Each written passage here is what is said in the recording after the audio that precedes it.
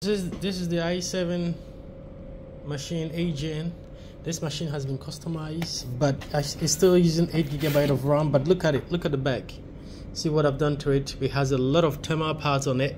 Almost of almost all the ICs has thermal pads on it. And then you can see that I did alteration for the RAM, but it's 8 gig though.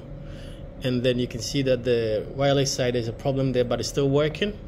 It's fine. I'm using it. I customize it, but I'm gonna on it and you're gonna see the the timing how long it's gonna take to boot. But here I'm gonna have a timing here. So if I'm gonna press it and then I'm gonna start it here but let me start it here and then I'm gonna press the power button. So let me start it here like that. Start and then I'm gonna press here and let's see how long it's gonna take for it to boot. It's a very good machine it's very fast but I just want to compare the speed and see how long it's gonna take. So on the computer we have like 13 seconds. Let me see here. It's gonna take a minute or not? I don't think so but let's see. All right so uh, we have 20 okay let's see. Uh, we have 30 seconds. 32 seconds okay when you hear bing bing that means it's, it's back. And let me see 40 seconds. So it puts i got this interface 40 seconds.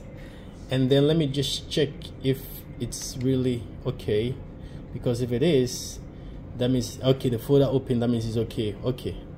So 40 seconds for it to boot like this. Performance everything is cool except the processor is still processing some stuff. Maybe probably because i launched this uh, I close it and let me see it's gonna slow down a bit. But it took 40 seconds to get the interface opened you know. So this is this guy and it's um it's 8 gig of RAM and it's i7 uh, that's it i7 let's, let's go to the processor there.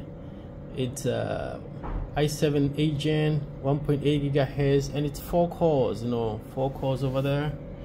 There you go and you can see that now the processor is coming down to 20 it's going to come down and you will see that it will be slowing down now because it has finished its booting and settings and all the stuff. So 40 seconds for this machine that's great